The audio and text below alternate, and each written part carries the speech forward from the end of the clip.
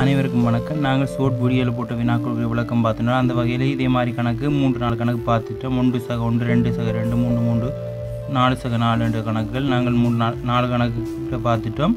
இன்னும் நிறைய கணக்கு பார்க்க இருக்கிறோம் அதாவது ஒன்று சக ஒன்று சம்மந்தமான நிறைய வித்தியாசம் வித்தியாசமான கணக்குகள் பார்க்க இருக்கிறோம் அதுக்கு நம்ம சேனலை சப்ஸ்கிரைப் பண்ணி வச்சுக்கோங்க. இதை ஸ்டாப் பண்ணி செய்யுங்க. நாங்கள் இப்போ விளக்கத்தை பார்ப்போம். ஒன்று சக ஒன்று சமன் ரெண்டு தாம்பரம் நாலு இருக்குது ரெண்டு சக ரெண்டு சமன் நாலு தாம்பரம் ஆனால் எட்டு இருக்குது மூன்று சக மூன்று சமம் ஒன்பது வரோம் ஆனால் பன்னெண்டு இருக்குது. என்ன மாறுதல்னு பார்ப்போம். அதே மாறுதல் பயன்படுத்தி இதுக்கும் எழுதுவோம் நாங்கள் லைக் வேணாண்டு அப்படித்தான்.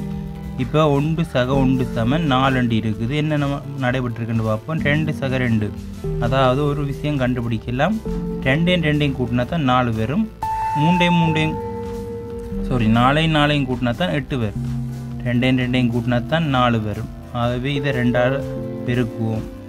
ஓர் ரெண்டு. ரெண்டு இதையும் ரெண்டால் பெருக்குவோம் ஈர் ஓர் ரெண்டு. ரெண்டு இந்த ரெண்டையும் கூட்டினா விட வருகுது அதே மாதிரி இதுக்கும் பார்ப்போம். இதை ரெண்டாக பிரிக்குவோம் ஈர் ரெண்டு நாலு. அதே மாதிரி இதையும் ரெண்டாக பிரிக்கணும்டா ஈர் ரெண்டு நாலு. இது ரெண்டையும் கூட்டினோம்டா. எங்களுக்கு விட வருகுது எட்டு. அவ்வளவுதான். அதே மாதிரியே இதுக்கும் வந்துட்டேன்டா. நாங்கள் இதுக்கு விட எழுதிட்டு போயிடலாம்.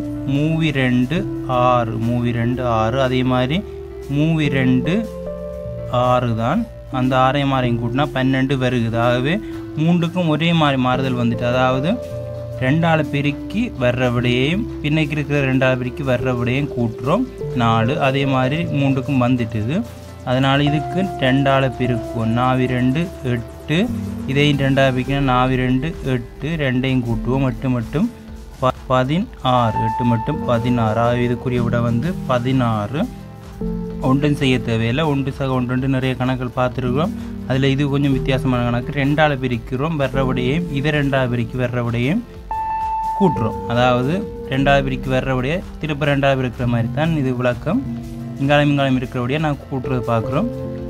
ரெண்டாவது பிரிக்கினா நாலு அதை ரெண்டாவது பிரிக்கினா எட்டு சரி. மூன்றாவது பிரிக்கினா ஆறு அதை ரெண்டாவது பிரிக்கினா பன்னெண்டு சரி.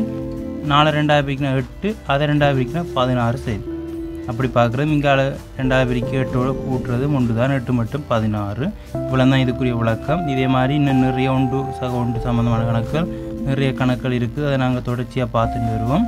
அதுக்கு நம்ம சேனலை சப்ஸ்கிரைப் பண்ணுங்கள் பிடிச்சா லைக் பண்ணுங்கள் இன்னொரு நாள் சந்திப்போம். நன்றி.